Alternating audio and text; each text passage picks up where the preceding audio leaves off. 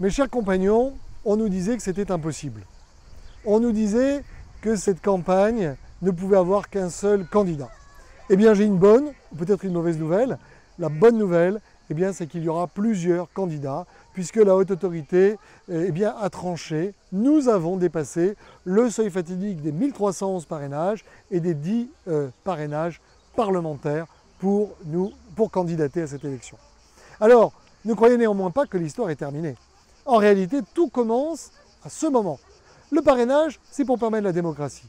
La démocratie, c'est pour permettre qu'il y ait un débat.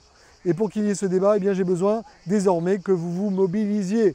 Pour que vous mobilisiez, eh pour euh, répercuter mon message, qui est un message très clair. Moi, je veux que les républicains survivent.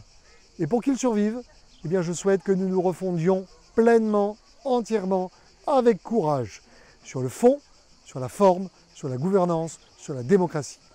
Au cours de ce mois de septembre, je développerai un certain nombre de principes et des exemples de ce que je souhaite faire à la présidence des Républicains. En retour, eh bien, je vous propose dès maintenant de nous contacter, de vous enrôler, devenez les volontaires de cette campagne.